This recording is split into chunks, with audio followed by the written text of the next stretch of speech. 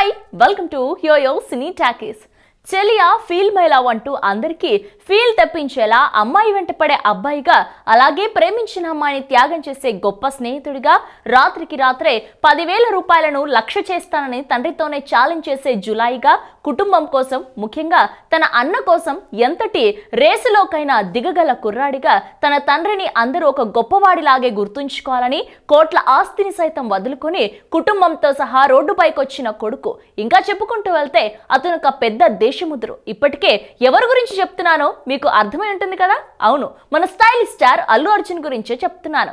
బన్నీగా అభిమానుల గుండెలను ఆకట్టుకుంటున్నాడు. మరో వారంలో ఆయన నటించిన అలా వైకుంఠపురంలో సినిమా సంక్రాంతి బరిలోకి దిగబోతోంది. మాటల మాంత్రికుడు త్రివిక్రమ్ శ్రీనివాస్తో కలిసి ఆయన పనిచేస్తున్న సినిమా కావడంతో అంచనాలు నెలకొన్నాయి. మరి ఈ చిత్రం బన్నీ కెరియర్లో ఏ మైలురాయిని చేరనుందో చూడాలి. ఈ సందర్భంగా ఆయన సినీ కెరియర్లో టర్నింగ్ పాయింట్గా నిలిచిన సినిమాల్ని ఓసారి చూద్దాం.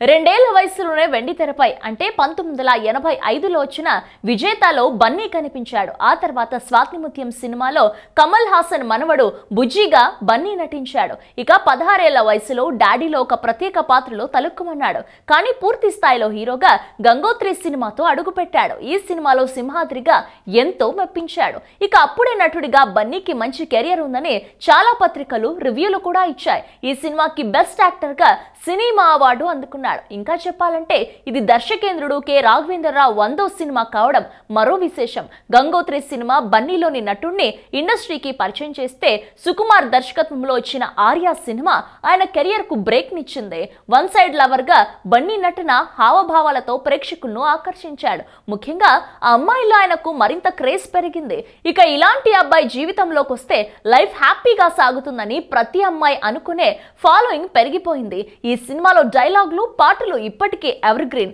బన్నీ తనదైన స్టైల్లో స్టెప్పులతోనూ అలరించారు. ఈ సినిమాతో బన్నీ కెరియర్కు మంచి బ్రేక్ వచ్చింది. ఈ సినిమాకు గాను బన్నీ నంది అవార్డును కైవసం చేసుకున్నాడు. ఇక బన్నీలో అల్లు అర్జున్ పవర్ఫుల్ పాత్రలో కనిపించాడు. ఈ సినిమాతో మాస్ ఇమేజ్ను సొంతం చేసుకున్నారు. ఇక అప్పటి నుంచి అల్లు అర్జున్ పేరు కాస్త బన్నీగా మారిపోయింది. ఆ తర్వాత హ్యాపీ అంటూ అందరినీ అలరించాడు. ఆపై వచ్చిన దేశముదురు మాస్లో మరింత క్రేజ్ను తెచ్చిపెట్టింది.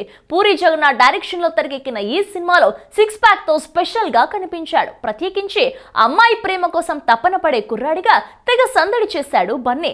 ఈ సినిమాకు గాను బెస్ట్ యాక్టర్ అవార్డును సొంతం చేసుకున్నారు. తర్వాత పరుగు ఆర్యా టూ వేదం వంటి సినిమాలో ఆయనకు సూపర్ హిట్లను అందించాయి. పరుగుతో నంది అవార్డు అందుకున్నారు. ఆర్యా టూ వేదంలకు గాను బెస్ట్ యాక్టర్ అవార్డును కైవసం చేసుకున్నాడు. ఇక నెక్స్ట్ వచ్చిన సినిమా బద్రీనాథ్లో దైవభక్తి గల వ్యక్తిగా అదుర్సనిపించాడు స్టైలిష్ సూపర్ స్టార్కి తొలిసారి వంద కోట్లు తెచ్చిపెట్టిన సినిమా జులై.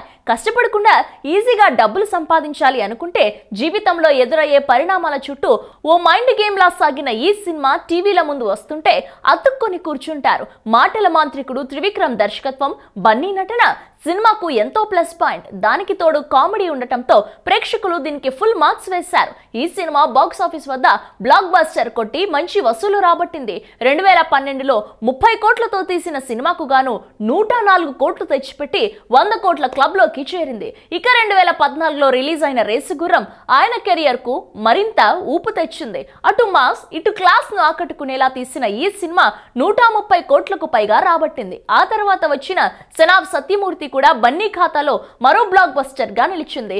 ఈ రెండింటి మధ్యలో వెండి తెరకెక్కిన సినిమా ఇద్దరు అమ్మాయిలతో సినిమాలో లవ్కి లవ్ గేమ్కి గేమ్ ఆడిన విధానము ప్రేక్షకులను ఎంతగానో మెప్పించింది.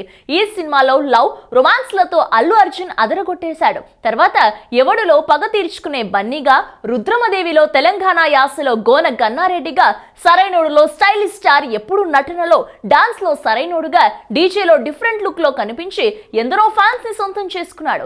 పెళ్ళి కుటుంబ విలువలు ముఖ్యాంశంగా వచ్చిన వరుడు పరాజయం పొందింది. ఈ సినిమా కథను ప్రేక్షకులు ఆదరించలేకపోయారు. కొన్ని లాంగ్ లెంత్ సీన్స్ ఉండటం సినిమాకు మైనస్గా అయింది. రెండు వేల పద్దెనిమిదిలో అల్లు అర్జున్ వక్కంతం వంశీ కాంబినేషన్లో రూపొందిన సినిమా నా పేరు సూర్య నాయిల్ ఇండియా ఊహించని విమర్శలు పొందింది. భారీ అంచనాల నడుమ విడుదలైన సినిమా ప్రేక్షకుల్ని సరిగ్గా మెప్పించలేకపోయింది. కానీ ఈ సినిమా కోసం బన్నీ ఎంతగానో కష్టపడ్డారు. సైనికుడిలాగా కనిపించేందుకు హెయిర్ స్టైల్ నుంచి బాడీ లాంగ్వేజ్ వరకు అన్ని పూర్తిగా మార్చుకున్నారు. ఓ విధంగా చెప్పాలంటే ఈ సినిమా వన్ మెన్తో చేశారు దర్శకులు. బన్నీ పాత్ర కోసం తనని తాను తీర్చిదిద్దుకున్నది కళ్ళకు కట్టినట్టు తెరపై అడుగడుగునా కనిపించింది. ఈ సినిమాలోని ఆయన నటన కెరియర్లోనే హైలైట్గా నిలిచింది. కానీ కథ పరంగా అంతగా ఆకట్టుకోలేదు. ఇలా చాలా గ్యాప్తో మూడోసారి ముచ్చటగా అల్లు అర్జున్ త్రివిక్రమ్ కాంబినేషన్లో సినిమా అలా వైకుంఠపురంలో సంక్రాంతి కానుకగా జనవరి పన్నెండున ప్రేక్షకుల ముందుకు రానుంది. వీరి కాంబినేషన్లో ఇప్పటికే వచ్చిన సినిమా సినిమాలు జులై సనాబ్ సత్యమూర్తి బ్లాక్ బస్టర్ హిట్లు అందుకున్నాయి. కాబట్టి ఈ సినిమా కూడా భారీ విజయాన్ని అందుకుంటుందని ప్రేక్షకులు బలంగా నమ్ముతున్నారు. ఇప్పటికే రిలీజ్ అయిన సాంగ్స్ ట్రైలర్ టీజర్ మంచి మార్క్స్ కొట్టేశాయి. దీంతో ఫ్యాన్స్లో మరిన్ని ఆశలు పెరిగాయి. మరి ఈ ఆశలను బన్నీ ఎంతవరకు నెరవేరుస్తాడో చూడాలి. హలో మిమ్మల్ని సినీ సెలబ్రిటీస్ రియల్ స్టోరీస్ ఏంటో తెలుసుకోవాలనుందా? లేటెస్ట్గా రిలీజ్ అయ్యే మూవీ రివ్యూస్ నేను చెప్తే వినాలనుందా? ఇంకెందుకు ఆలస్యం? యోయో సినీ టాకీస్ని సబ్స్క్రైబ్ చేసుకోండి. బాయ్ హా అన్నట్టు ఇంకో విషయం మర్చిపోయాను. కింద ఒక గంట సింబల్ ఉంటుంది దాన్ని లాగి బట్టి ఒక్కటి కొట్టండి.